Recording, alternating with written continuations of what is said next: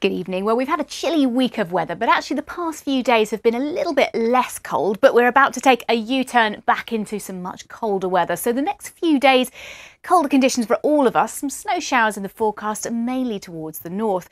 And the colder air is courtesy of a couple of fronts sinking their way south, opening the door to this Arctic blast that's going to be coming in.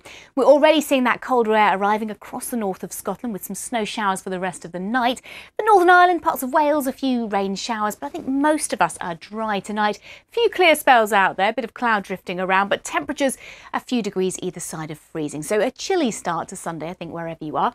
We'll continue to see more snow showers packing in across parts of Highland, but also up towards Shetland. It's going to be really windy, gusts around 70 miles an hour with those wintry showers fair amount of dry weather for most of us, but again, one or two showers towards the west and temperatures around about 3 to 7 degrees.